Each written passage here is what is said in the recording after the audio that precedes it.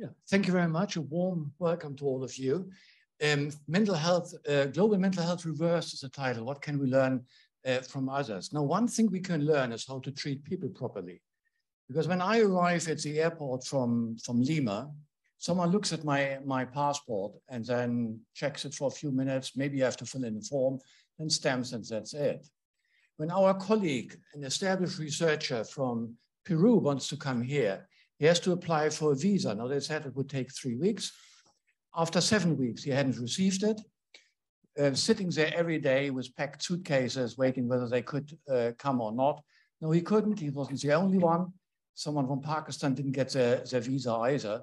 So we can talk about equity and partnership and all that, but if that's the way how we treat people in such a humiliating, offensive, and degrading manner, then of course it's all um, all hot air. So we are two uh, present. We are not those two presentations short because uh, Vicky Bird will step in for one and um, uh, Francisco Diaz from Peru has sent, has sent um, a film. But I think it is um, pretty embarrassing and shameful for someone like me who chairs this group to have to tell you that. Okay, so the, the, the GLOBE is, a, is an acronym for an NIHR Global Health Research Group. The official title was Global Health Research Group for Developing Psychosocial Interventions at Barts and the London School of Medicine and Dentistry. So it was funded by the NIHR, but also supported by Queen Mary and the Trust. The Trust was a formal um, partner in this group. And so we had three aims exploring and advancing understandings of global mental health. We did a, we published a review paper about what global mental health can mean, a paper about the future scenarios for global mental health. Building research capacity is something that we will not go into very much today. Um, a very difficult subject, how to build research capacity with our money in other countries when there may not be the career pathways and not the structures.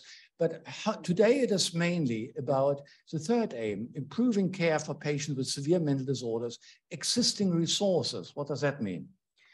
We didn't want to go for specialized services with highly qualified psychologists or whatever. First, because the psychologists are not there. Secondly, even if the psychologists were there, the money is not there to pay for them.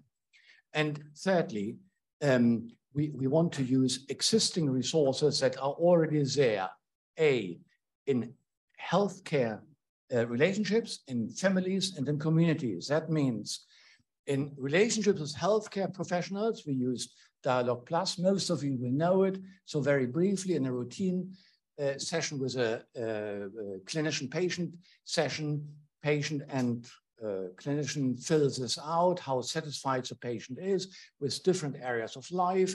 After that has an overview and decide what they want to talk about and then address each of the concerns in a four-step approach. Now, today is not the, um, uh, the time to elaborate on that.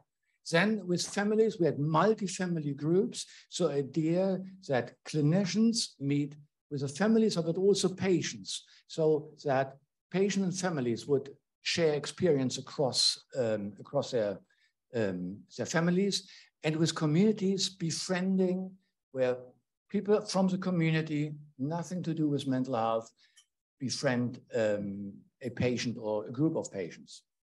We started with partners in Colombia, Bosnia, Herzegovina, and, and Uganda, and decided this would be our very, very ambitious goal to have open, non-controlled trials, exploratory or proof of concept, you could call them, with 30 patients in each of the countries on each of the um, interventions, putting in the applications that honestly we may not get every um, intervention, every country um, addressed.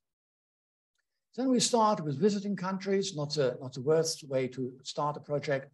So first Bosnia-Herzegovina, then we went to Uganda, to Colombia, and had a cheerful meeting in London. And with uh, in good mood, we went about it.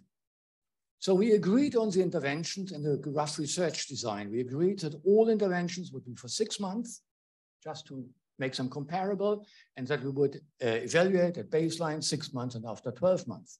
So we had con some consistency in key characteristics, but also some variability, and countries were free to change uh, the uh, implementation. But then something happened, some pandemic kicked in. No in-person meetings, very, very difficult recruitment of participants, no in-person interventions. So what happened to our wonderful, ambitious plans to do all these studies? This. So instead of open non-controlled trials, our partners who are sitting here managed to deliver RCTs, cluster RCTs, or individually uh, randomized RCTs with large um, um, sample sizes, um, all studies completed, nine studies completed, and with a much more methodologically ambitious and rigorous uh, approach than we had originally um, and originally planned. Then we widened the partnership. Some money was left, so we widened the partnership and brought partners from Peru, Argentina, and Pakistan in.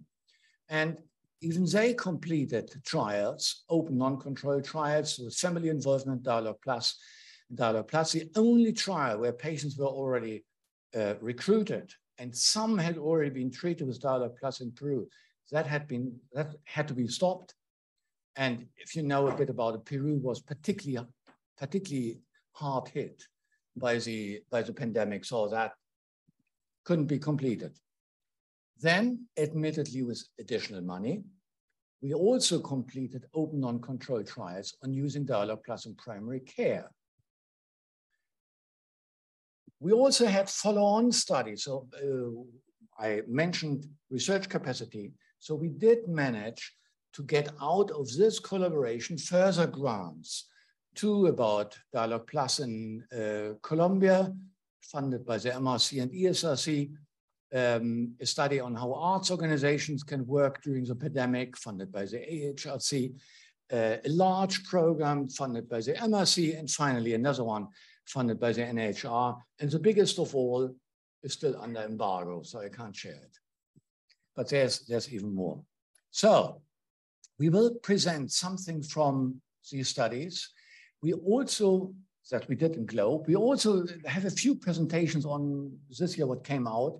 And one presentation, the last before the break, that was done even before we started GLOBE. But when you hear it, you will hopefully agree it's too good to miss you should know about that.